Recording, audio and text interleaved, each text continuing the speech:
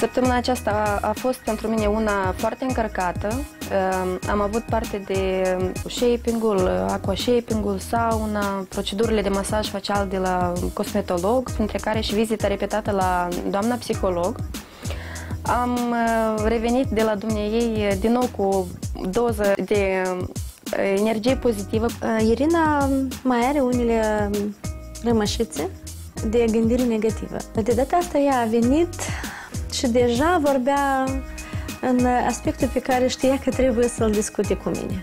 Și primul lucru pe care mi l-a mărturisit a fost uh, căderea sa emoțională la un moment dat, când uh, scopul nu i s-a realizat în măsura în care a avut uh, așteptările. La săptămâna trecută, când ți-ai planificat pentru a te mișca spre scopul tău 3-4 kg să dai jos, a reieșit din faptul că tu ai reu- în primele două săptămâni totuși ai reușit să dai 3 kg. Și te-ai gândit că a treia săptămână va fi uh, și, mai, și mai mult. Atunci spuneam că într-o săptămână ai să devii foarte realistă pentru că ai să vezi real cât e posibil, cu toată munca, cu tot efortul pe care îl depui. Dacă ai slăbi câte 2 kg pe săptămână, în timp de 5 săptămâni care ți-au rămas, ar fi minus 10. Da, plus acele 8 kg pe care deja le-ai dat, deci îți dai seama că, de fapt, deci 2 kg nu este atât de rău să slăbești. În, în programul pe care ți l-ai planificat tu de două luni, este posibil să slăbești exact atât cât ai uh, dorit.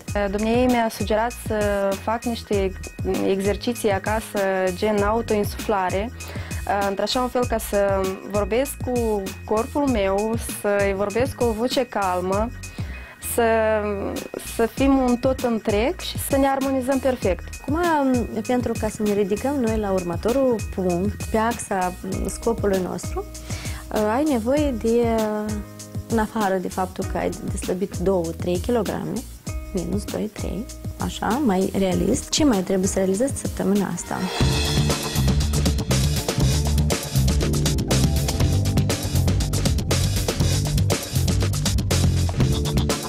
Săptămâna aceasta am fost în vizită și la stomatolog.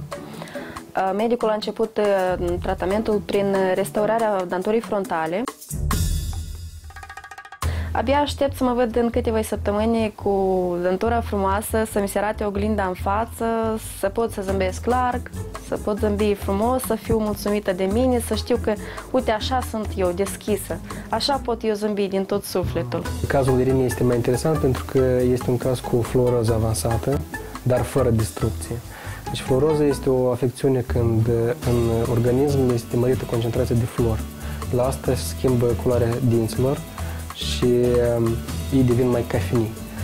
Uh, din păcate, procedura din albire este contraindicată într-așa caz, de aceea noi să recurgem la uh, tratamentul cu restaurări estetice. Problema fluorozii este destul de răspândită la noi în Republica Moldova, dar din păcate pacienții mai puțin se adresează cu rezolvarea acestei probleme.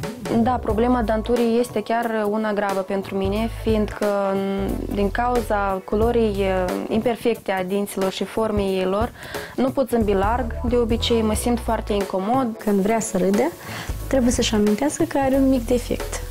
Și atunci, sigur, are o o barieră în a-și expune clar, deschis emoțiile, gândurile. Înainte de toate trebuie să facem o procedură de curățire a tartarului. După asta facem procedura de restaurare a dinților și luăm șase dinți de frontal superior. Și la ultima etapă a tratamentului vom face un tratament la dintele 3-6, care are o care profundă.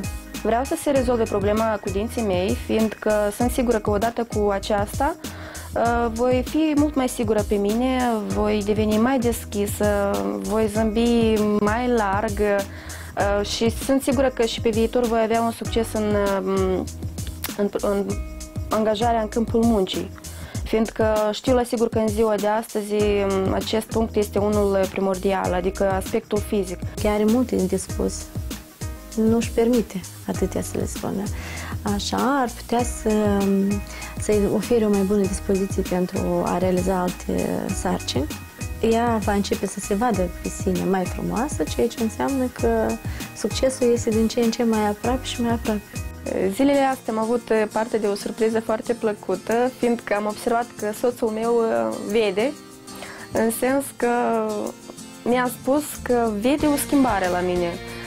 În timp ce mă schimbam de haine în fața oglinzii, s-a întors așa un pic la mine și mi-a spus, auzi, dar chiar văd un pic de schimbări la tine, nu, nu radicale, ci un pic este.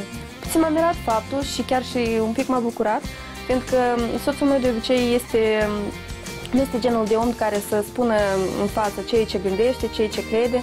M-a bucurat cuvintele lui, dar și le-am luat ca pe un compliment și ca pe o încurajare, de fapt.